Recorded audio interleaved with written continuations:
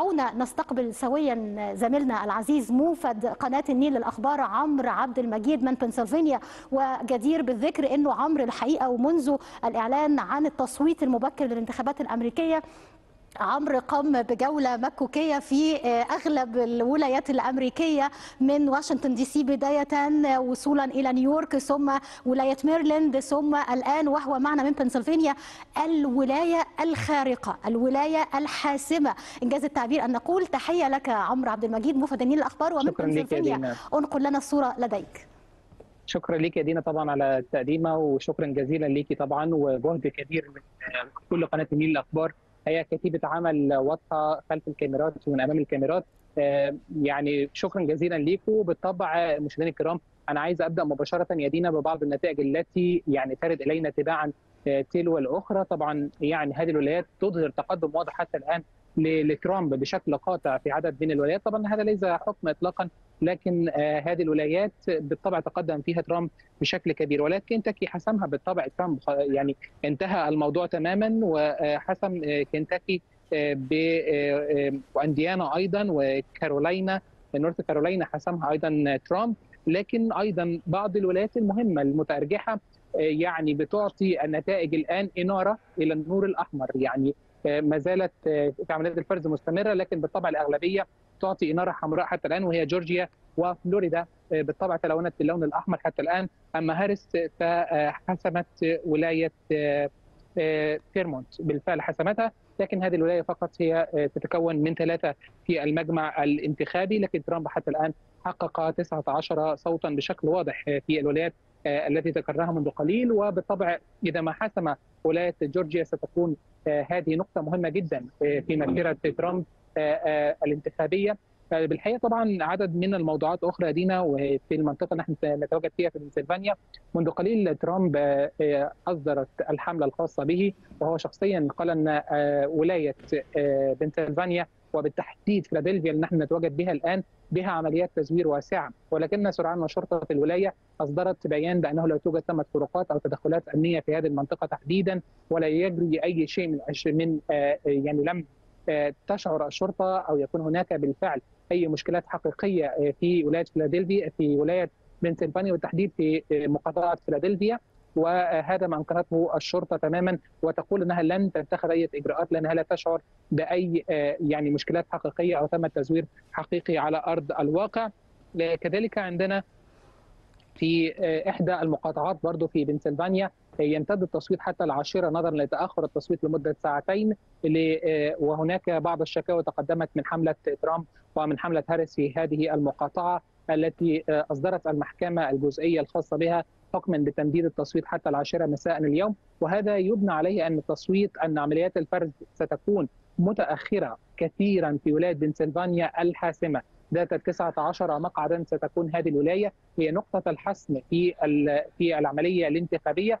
إذا ما سرنا بالشكل المعتاد آه، في العملية الانتخابية الولايات ذات اللون الأحمر هي ولايات ذات اللون الأحمر والولايات الزرقاء ولايات الزرقاء دون أي تغيير بها وتبقى السبعة ولايات ذات 93 صوتا هي الحاسمة. فبالطبع هنا آه، نتوقف كثيرا أمام إعلان النتيجة بشكل رسمي لكن بالطبع آه، تقدم ترامب في جورجيا هذا يمكن يكون مفاجأة لينا كلنا لكن على أي حال الموضوع لم يحسم حتى الآن لكن اللون الرسمي الخاص بهذه الولاية تحديدا يتلون الآن باللون الأحمر الباهت. نعم. يعني هناك آه، طرق مختلفة في الفرز يا دينا. وهي إما أن تتلون باللون الأحمر الواضح وهذا يدل أن هذه الولاية أصبحت حمراء وانتهى الوضع لصالح الجمهوريين. وإما زرقاء وتتلون وهذا لصالح الديمقراطيين. وإما أحمر باهت فيدل أن التصويت متقدم للغاية لصالح ال- الجمهوريين. وإما أزرق باهت وهذا يدل أيضا التصويت لصالح الديمقراطيين فإذا ما حسمت تتلون باللون الأحمر وهو الآن آه، ترامب متقدم بالفعل في الولايات ذات اللون الأحمر واللون الأحمر الباهت نعم. أيضا على حساب آه، كمال هاريس التي يمكن حتى الآن لم تكسب بشكل واضح إلا ولايه واحدة نعم آه،. عمرو بالتأكيد م- هذه الإحصاءات وهذه الأرقام التي أشرت إليها إنما أتت بعد غلق صناديق الاقتراع في هذه الولايات سواء كنتاكي أو بالطبع إحنا إحنا إحنا أو- أو نتحدث عن.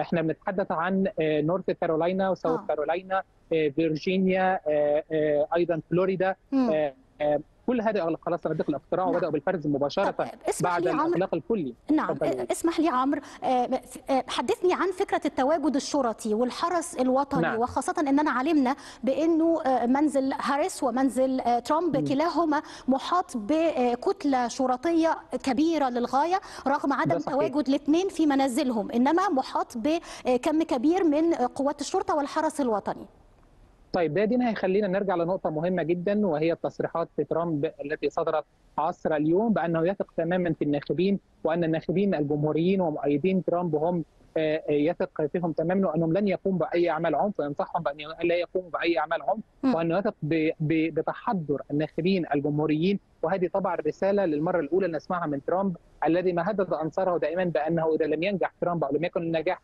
حليف ترامب والجمهوريين ستكون أعمال تخريب واسعة في البلاد. وهذا بالطبع ما انعكس بشكل واضح على محيط البيت الأبيض الذي يصعب عليك أن تصلي إليه يعني نعم. لمسافة يستحيل طويلة، أن تصلي لمسافة طويلة مم. ولكن في السابق كنت تستطيع أن تتصو... يعني تلتقط الصور التذكارية على على. سور وعلى باب. القصر مم. لكن أيضا المحال التجارية في محيط هذه المدينة في واشنطن تحديدا أغلقت أبوابها وتم آه، يمكن سدها بأبواب خشبية وها والتحصينات الأكثر يا دينا ردا على سؤالك طبعا اتفضل. التحصينات الأكبر والأكثر هي حول حول منزل آه، كمالا هاريس أكثر. بكثير من من ترامب. لأن التعصب ال- الأعمى الخاص بالجمهوريين هو تعصب شديد آه، يفوق الديمقراطيين بكثير الذين يعني يطلقون على نفسهم أنهم أصحاب الليبرالية أو أصحاب التحرر فهم لا يميلون للعنف آه، بعكس أنصار ترامب الذي بها جناح يميل لليمين بشكل واضح جدا يمين متشدد أيضا للجمهوريين وللون الأحمر بشكل يعني مبالغ فيه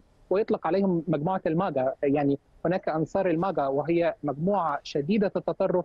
وشديدة اليمين في في في ترشيحها لترامب وربما هم تخوف منهم بشكل واضح في الولايات المتحدة الأمريكية وكذلك كما ذكرتي هناك تأمينات كبيرة جدا وتحصينات كبيرة جدا من الشرطة وليس حتى الشرطة التي ترتدي الزي الذي يدل على هويتهم لكن أيضا الشرطة السرية. وعملاء ال FBI. ينتشرون بشكل واضح في أمام اللجان وفي الطرقات وفي كل مكان يعني واضح و- ويعني نظراتهم بالنسبة للناس وبالنسبة للذين يتوجهون إلى صناديق الاقتراع أو حتى إلينا في الإعلام نعم. يعني يدل إن هم نظره نظرة ليست بالطبيعية على الإطلاق لكن هم يتحسسون الخطى بشكل واضح جدا من تخوفات من أي شيء خصوصا أيضا بعد الهجمات وبعد الإعلان الذي أصدره ال FBI منذ قليل أن هناك تخوفات من آه، روسيا وبعض البريد الإلكتروني الذي وصل لمقاطعة جورجيا تحديدا نعم. فان هناك عمليات واسعة من التفجيرات وغيرها وهذا ما عطل العملية الانتخابية لبضع آه، آه، آه، دقائق حتى أصدر ال FBI إعلانات بأن هذه تمت هجمات